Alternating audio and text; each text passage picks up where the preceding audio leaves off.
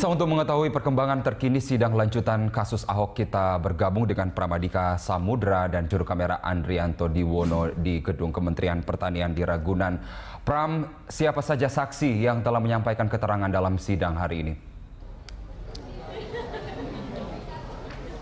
Ya hingga sore hari ini menjelang pukul 17 waktu Indonesia Barat telah ada satu saksi yang telah menjalani persidangan atas nama Petri Kasman dan satu orang lagi atas nama Irene Handono masih menjalani pemeriksaan. Di dalam ruang sidang Irene dicecar uh, oleh kuasa hukum terkait dengan latar belakang dan juga riwayat hidupnya dan ia juga ditanya oleh kuasa hukum mendapatkan video uh, pidato Basuki Cahayapurnama dari mana dan dari uh, pernyataan di persidangan Irene mengatakan bahwa ia mengetahui adanya video tersebut dari sosial media dan ia fokus pada 13 detik uh, pidato Ahok yang mengenai surat Al-Maidah 51 dan selain itu uh, Irene juga mengatakan bahwa sebagai muslimah ia merasa tersinggung dengan adanya ucapan dari Gubernur DKI Jakarta Basuki Cahayapurnama nonaktif uh, yaitu Ahok di mana ia mengatakan bahwa Ya, sepertinya uh, pemirsa di belakang kami saat ini sesaat lagi akan ada konferensi pers oleh kuasa hukum Hunfrey dan juga kuasa hukum lainnya. Kita langsung saja ke, ke konferensi yang akan dilaksanakan. Yang ada dulu aja. Bisa mulai sekarang? Bisa siap. Udah ya? Saya mulai dulu ntar ibu tambahin. Ya, nanti bapak. Kalau saya nggak perlu tambahin nggak usah. Udah? Udah, udah. belum, belum, belum. Bentar, Pak, bentar, Pak, tunggu, Pak. Tahan dulu, Pak. Tunggu, tunggu. Tunggu, tunggu, Pak. Dikit lagi. Udah? Lagi, Pak, dikit lagi, Pak. Udah ya? Ya begini. Jadi gini teman-teman pers, karena teman pers nggak bisa masuk, ya kita mau menyampaikan hasil pemeriksaan saksi yang namanya Ibu Irena Handono. Nah, apa yang terjadi pada saat apa yang terjadi pada saat Ibu Irena Handono ini memberikan keterangannya?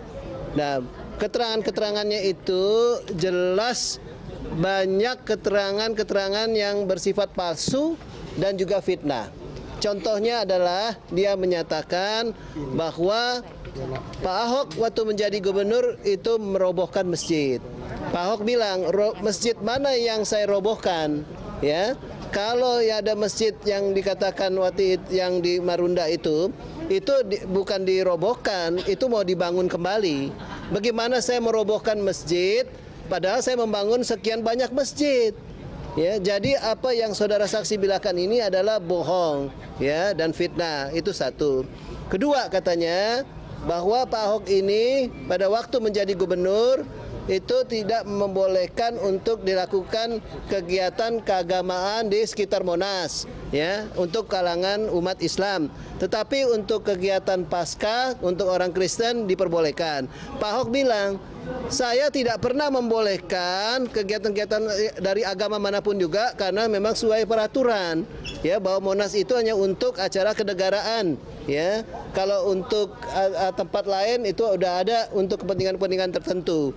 Dan tidak pernah ada larangan ya untuk keagamaan tertentu. Jadi ini pun juga fitnah untuk itu. Dan juga berkaitan juga ya mengenai katanya uh, pada hari tertentu Jumat itu tidak boleh memakai pakaian-pakaian keagamaan ya muslim ya seperti pakaian jilbab. Pak Ahok bilang tidak benar itu. Sampai saat ini juga bebas semua sekolah ya madrasah memakai pakaian muslim untuk itu. Malah saya memberikan dana bantuan yang cukup besar ya untuk pakaian-pakaian tersebut tersebut dari APBN. Ini pun juga fitnah. Nah, jadi uh, ada beberapa hal lainnya lagi yang membuktikan bahwa sebenarnya keterangan dari Ibu uh, Irena Handono ini bahkan juga memecah belah daripada NKRI, NKRI ya katanya. Jadi ya, jadi sebenarnya ya kalau saya misalnya bilang bahwa katakanlah ya Contohnya di katanya Ibu Irena bilang ini uh, Pak Ahok bilang di balai kota bahwa tidak ada yang beriman ya hanya saya yang beriman saya akan tunjukkan iman saya loh Pak Ahok bilang coba dengar benar-benar pidato saya waktu di balai kota saya bilang bahwa kalau memang kalian beriman kalian jangan korupsi kalian kerja yang benar nah itu baru beriman tapi kalau ngaku beriman kalian korupsi kalian kerja nggak benar, bagaimana kalian bisa bilang beriman? Nah, coba lihat keseluruhan apa yang saya kemukakan. Jangan sepotong-sepotong menurut penafsirannya. Jadi jangan bilang saya memecah belah NKRI segala macam. Ya, saksi inilah yang mau memecah belah NKRI segala macam. Jadi saksi sebenarnya ya hanya mau mengambil sepotong saja yang berkaitan dengan katakanlah perkataan Al-Maidah, tapi dia nggak melihat keseluruhan konteks daripada pidato di Pulau Seribu yang satu jam 48 menit tersebut begitu ya. Bahkan ada lagi yang saksi jelas-jelas bohong. Dia bilang pada waktu di Pulau Seribu ya ini Ahok ini bilang pilih saya katanya. Loh, saya bilang nggak bisa bisa bilang pilih saya. Kalau bilang pilih saya, saya udah melanggar itu katanya ketentuan untuk kampanye. Malah saya bilang jangan pilih saya. Yang penting program ini untuk ikan kerapu itu harus jalan. Karena saya udah lihat program ini ternyata dari tahun 2014 tahun 2015 kurang peminatnya. Jadi tidak ada satupun kan bisa kelihatan transkrip daripada pidato di Pulau Seribu. Nah, bagaimana bisa ibu bilang pilih saya? Berarti ini saksi palsu, ya karena apa yang dinyatakan di persidangan itulah yang di apa dijadikan pegangan. Oleh karena itulah. Menghina orang tua Seribu dan terima itu karena ada terima ikan kelapu jadi tepuk tangan. Nah, juga waktu ditanya bagaimana katanya dia bilang orang Pulau Seribu itu katanya apa? Sebenarnya katanya takut ya karena mereka udah terima katanya program atau apa katakanlah fasilitas daripada untuk ikan kerapu dan yang lain-lain tuh bawahannya.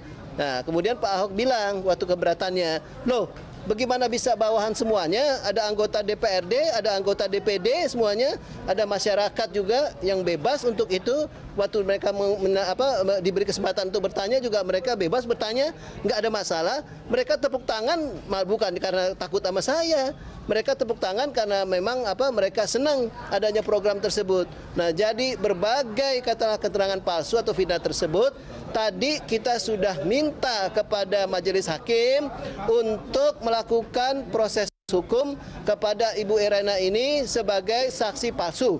Nah, dan karena sudah di bawah sumpah. Nah, majelis hakim tadi bilang kita akan pertimbangkan ini. Tapi kalau kita pertimbangkan ini kita akan berakibat bisa menghentikan daripada proses hukum yang berjalan. Kita bilang ya ini sebagai konsekuensi daripada keterangan saksi ya Irena Handono ini yang kita anggap sudah sangat keterlaluan ya. Bahkan sudah keterangan palsu sudah karakter assassination pembunuhan karakter sudahlah fitnah semuanya bukan satu dua tapi sudah katakanlah eh, sangat banyak sekali. Nah oleh karena itu ya kita sudah mengambil sikap ya atau keputusan selain kita minta kepada majelis hakim untuk melakukan proses hukum ya untuk saksian palsunya kita akan melakukan juga laporan ke polisi kepada Ibu Irena ini karena berbahaya apa yang Ibu Irena bilang ini karena ini akan menjadi katakanlah suatu apa persoalan nanti yang bisa timbul di masyarakat. Pada apa yang dia ngomongkan itu sangat terang benderang sekali adalah satu hal yang keterangan tidak benar bahkan boleh dibilang keterangan yang merupakan satu fitnah atau karakter assassination. Itu aja yang perlu tahu uh, kita akan laporkan ya karena ini udah menyangkut apa sekarang uh, harus sidang sampai akhir ya besok kita udah laporkan ke Polda Metro Jaya. Termasuk yang Pedri juga nggak sih Pak? Pedri juga katanya akan dilaporkan kan Pak? Pedri masih kita pelajari dulu ya ya uh, tetapi ya ada beberapa yang paling tidak yang hari ini yang kita sudah lihat sangat jelas sekali adalah ya tanpa Ibu Irena tanpa pembuktian lagi dan itulah makanya tadi majelis hakim mengambil satu sikap yang menurut hemat kita cukup apa uh, clear ya bahwa akan dipertimbangkan semuanya ya berarti dalam hal ini apa yang menjadi permohonan kita ya itu tentu permohonan yang sangat beralasan karena majelis hakim tentu mendengar ya secara jelas apa yang terjadi dalam ruangan sidang, apa yang dikemukakan oleh Ibu Irena ini gitu.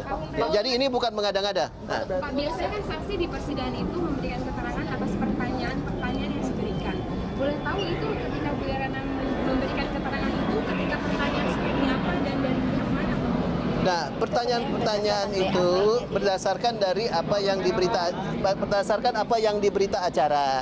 Ya, contohnya tadi ditanyakan, ini satu contoh, yaitu mengenai bagaimana sikap dari orang Kepulauan Seribu yang pada waktu itu hadir. Oh, mereka itu tertekan, ya. Mereka itu sebenarnya ya tidak bisa apa me, me, apa mengutarakan yang sebenarnya perasaan mereka yang menganggap bahwa itu ada penodaan agama.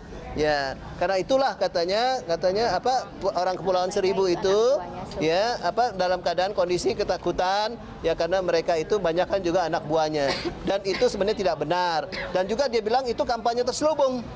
Nah, bagaimana kampanye terselubung? Orang nggak ada bicarakan mengenai soal uh, untuk memilih ke dia kok hanya bicarakan mengenai program saja dan katanya juga Pak Ahok Pemirsa baru saja kita mendengarkan keterangan pers dari tim kuasa hukum Basuki Cahayapurnama yang menolak kesaksian yang dihadirkan hari ini dalam sidang bahwa menyatakan bahwa sejumlah kesaksian dari saksi yang hadir palsu dan itu tadi sebelumnya ada laporan dari reporter Pramadika Samudra.